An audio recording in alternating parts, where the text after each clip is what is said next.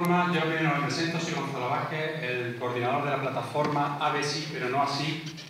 Plataforma evidentemente vecinal. Nosotros los que nos reunimos aquí atrás y muchos que no han venido no han podido entrar por dificultades de espacio, pedimos eso mismo, que el AVE pase, pero que no desaforo.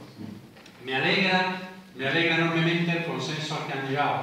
Y desde aquí les transmito, pienso que en nombre de todos mis vecinos, mi más sincera felicitación. Enhorabuena, porque con eso, de verdad, no contábamos, pero gracias.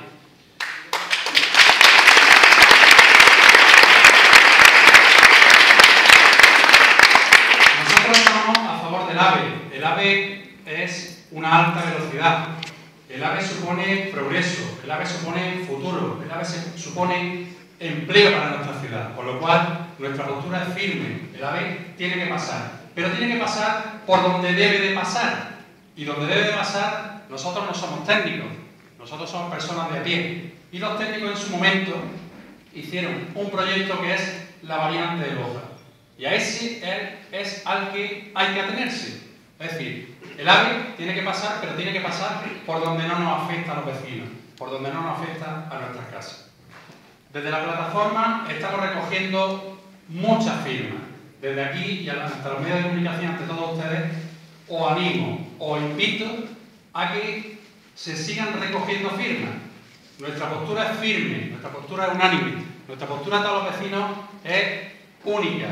Estamos recogiendo firmas por si todo esto se va al traste o al garete, el día de mañana tengamos una base para presentarnos en Madrid, donde haga falta. Nosotros no pararemos. La postura de la plataforma es no parar y no pasar. Es decir, el AVE no va a pasar. Hay múltiples barrios afectados. Hablan ustedes siempre del barrio de la estación. No. Esto es un problema de Loja entero. Hay muchos barrios afectados. Desde Pline hasta La Esperanza, pasando por el Viso, pasando por las Peñas, Estación, Barrio San Francisco. Somos todos barrios. Todos somos uno. Loja es una. No es un barrio solo. Somos muchos barrios. Nuestra postura es inflexible. Y antes comentaba antes, eh, no sé si el portavoz del Grupo Socialista o el portavoz del CPL, el tema del proyecto. El proyecto, si ya llega a Madrid o desde Madrid lo están aprobando o estudiando, no debemos dar pie a que se estudie. Hay un proyecto ya hecho y ese proyecto se llama Variante Sur de Loja. Ese proyecto no afecta a las casas, no afecta a los vecinos y no nos afecta a nosotros. Nosotros no somos, como ya digo, técnicos, no hemos hecho ningún estudio técnico al respecto, pero sí tenemos miedo, tenemos miedo e inseguridad. Esa inseguridad es clara, ¿por qué? Porque el AVE supone catenaria, supone electrificación, y yo le puedo decir que la electrificación es mala para la salud, se lo puedo asegurar, porque soy profesional de la misma. También tenemos miedo a los vallados. ¿Por qué tenemos que tener unos vallados? ¿Por qué nos tienen que, en una vía de hace siglo y medio, poner otra vía? ¿Por qué tienen que expropiar casas? Usted, efectivamente, hablaba antes de las expropiaciones de las casas del túnel. Y me alegra, me alegra. Pero son muchos los vecinos afectados. Y ante eso, desde aquí le transmito, desde la plataforma, mi más sincera enhorabuena. No, no tiene que verse ningún vecino afectado. Nadie tiene por qué perder su casa. Ese es el bien más sagrado que cualquier persona pueda tener. Desde aquí y, ayer, ante los medios de comunicación, tuvimos un debate, pedían la unificación y esta tarde ustedes la han logrado, de lo cual, sinceramente, me siento tremendamente orgulloso.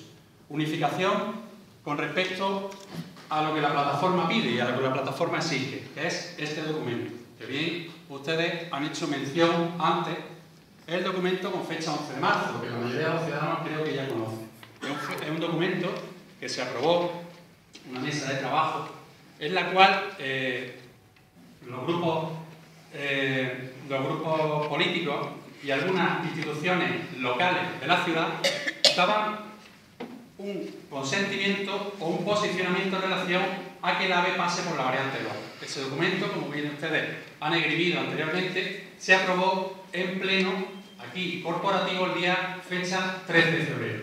A ese pleno o ese documento o este documento al que la plataforma nos adherimos, al que nos suscribimos. Este documento, y que ustedes han ratificado hoy, es al que la plataforma está totalmente de acuerdo.